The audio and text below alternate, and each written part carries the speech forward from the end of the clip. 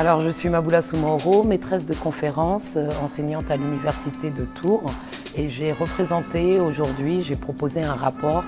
sur euh, le travail de l'artiste Julien Creuset. Ce que j'ai essayé de mettre euh, lors de cette présentation, c'était d'abord l'histoire de notre rencontre avec Julien Creuset et la notion de courage que cette rencontre pouvait mettre en avant.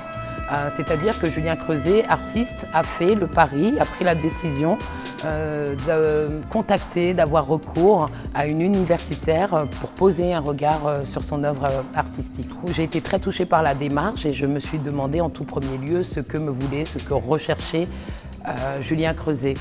Donc ce qui est apparu très clairement au fil de nos rencontres, au fil de nos conversations, au fil de mes visites de son atelier, c'était le désir de sortir du cadre, d'exploser les cadres, de mélanger, de créer une sorte d'hybridité, de transformation et de mélange. C'est-à-dire que pour euh, Julien Creuset, le milieu artistique en lui-même, le monde artistique est insuffisant. Ce qu'il veut, c'est aussi pénétrer euh, ce monde de la pensée, ce monde intellectuel, ce monde de l'histoire, ce monde aujourd'hui euh, de la sociologie même, et de pouvoir faire converser ces, deux mondes. Cette notion d'hybridité, elle fait écho peut-être à l'ancrage personnel, l'ancrage familial de Julien Creuset, qui, euh, qui est originaire de la Martinique donc une île de la Caraïbe. Ses parents sont originaires de la Martinique. Lui-même est né dans la région parisienne. Donc j'ai l'impression que depuis longtemps, il y a une sorte de conscience de la part de cet artiste de euh, la notion d'exclusion, de, marge, de périphérie. La périphérie, euh, je veux dire, géographique et aussi la périphérie intellectuelle et artistique. si on prend pour point de départ la question de l'ancrage martiniquais, de l'ancrage caraïbe, euh, l'ancrage des Amériques et de ce plus grand espace que certains ont dénommé l'Atlantique noir ou euh, les Amériques noires, selon les formules utilisées par Paul Gilroy, le britannique, ou par Roger Bastide, le français. On, sort un peu du cadre de la France hexagonale, d'une France limitée par ses euh, confins géographiques qui la limitent à l'Europe, et on investit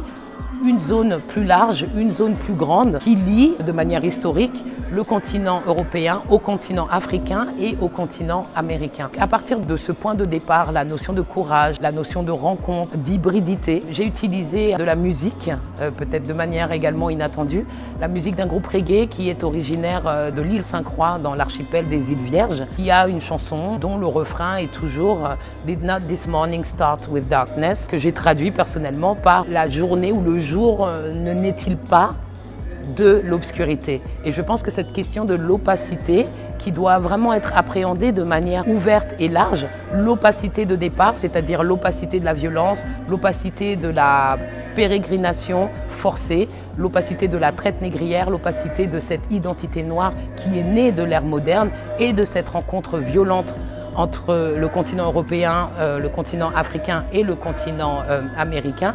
a tout de même tout de même, et c'est important, donner lieu à de la lumière. Donc j'ai vraiment articulé cette présentation sur le contraste, mais aussi la complémentarité de l'opacité, de l'obscurité et de la lumière dans laquelle apparaît la beauté, la vérité et la production artistique de Julien Creuset. Donc c'était un peu en essence ce que j'ai essayé de dire, en projetant à l'écran évidemment des images des œuvres de Julien Creuset, en insistant sur la diversité, le foisonnement et la richesse de sa production. Euh, c'est-à-dire, j'ai parlé de multiforme, multimédia, il y a de la musique produite par lui-même, de la musique euh, qui est aussi empruntée à d'autres personnes qui ont elles-mêmes euh, un aspect hybride, c'est-à-dire que je pense à un autre Martiniquais, Jacques Courcil, dont les extraits musicaux sont utilisés par Julien Creuset dans l'installation actuellement euh,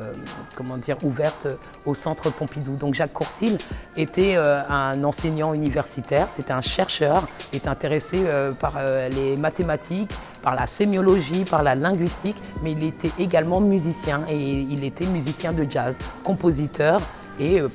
praticien, j'ai envie de dire, euh, de musique jazz. Jacques Courcil est très important dans la pensée de développement euh, de Julien Creuset, tout comme l'est la pensée d'Édouard Glissant, qui a vraiment parlé de créolisation, de créolité, de cette rencontre, de cette fusion entre les différentes cultures qui, se sont, qui ont,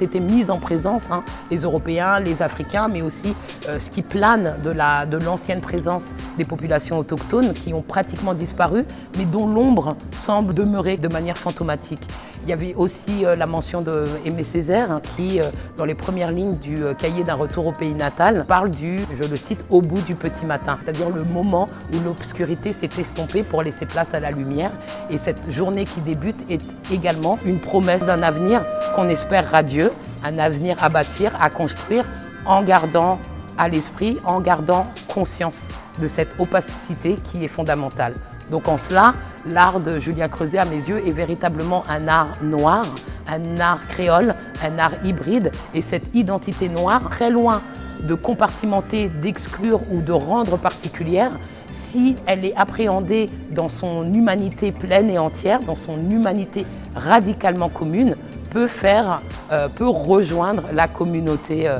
véritablement universelle. On peut être noir et humain, on peut être noir et universel. Et ça, c'est quelqu'un de la Caraïbe, euh, ancré familialement, ancré intellectuellement, qui nous l'a rappelé.